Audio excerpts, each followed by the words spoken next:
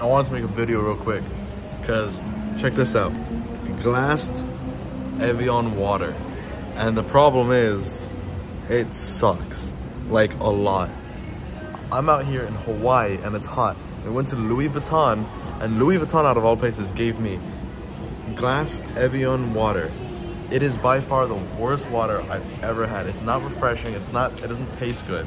It's straight up like out of the, right out of the refrigerator.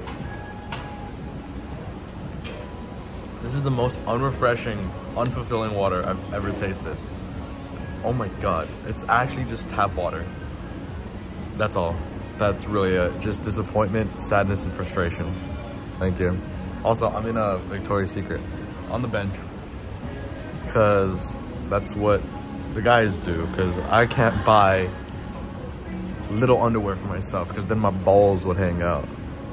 That's the only reason, honestly.